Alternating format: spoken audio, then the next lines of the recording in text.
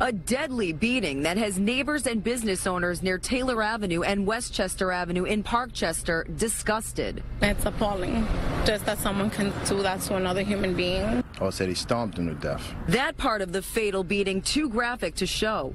But you can see these two men repeatedly attack and drag 40-year-old Pedro Adorno from the Bronx. Oh, man. Look, he's kicking it. Police believe the motive was robbery. They released this video of the two men talking with Adorno just around the corner in front of a restaurant on Westchester Avenue. Then you'll see on surveillance video given to CBS 2, the fight started as they made their way around the corner here on Taylor Avenue, and it continued. Down the street, even in between cars, at one point you can see Adorno fall and get back up, fall again, and the attack continued until the men took off.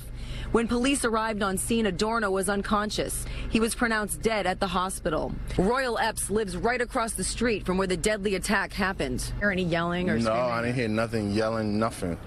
I just woke up to police barricades and police tape. Hopefully, you know, like they, they catch the people that do this because this kid, this guy does have a family and things of that nature. And it's wrong to murder somebody. Neighbors say they don't recognize the two men, but they're hoping someone does soon.